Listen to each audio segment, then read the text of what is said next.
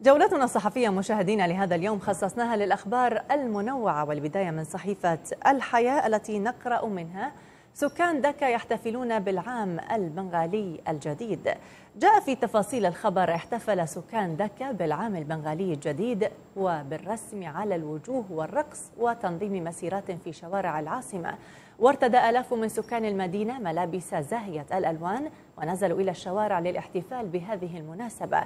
ويجري الاحتفال بالسنة البنغالية الجديدة في الرابع عشر من شهر نيسان أبريل من كل عام. إلى صحيفة الاتحاد الإماراتية مشاهدين التي نطالع منها كويكب يمر بمحاذاة الأرض يوم الأربعاء. أعلنت وكالة الفضاء الأمريكية ناسا أن كويكبا صغيرا قطره 600 متر سوف يمر بمحاذاة كوكب الأرض يوم غد الأربعاء مؤكدة أن خطر ارتطامه بالأرض معدوم. وتعود الزيارة الأخيرة لهذا الكويكب لجوار الأرض إلى أربعة قرون.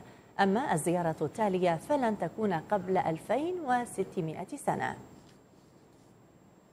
اخترنا لكم مشاهدينا من صحيفة القبس الكويتية الرئيس الفلبيني يتصدر قائمة الأشخاص الأكثر تأثيرا في العالم. تصدر الرئيس الفلبيني رودريغو دو تيرتي القائمة السنوية لمجلة تايم الأمريكية للمئة شخص الأكثر تأثيرا في العالم والتي تعدها المجلة عبر استطلاع آراء القراء من خلال الإنترنت وحصل على 5% من أصوات القراء.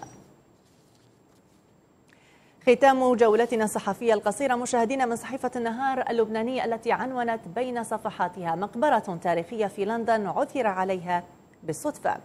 عثر في لندن صدفة على مقبرة تعود إلى القرن السابع عشر تحتوي على عشرين تابوتا في مبنى كنيسة قديمة.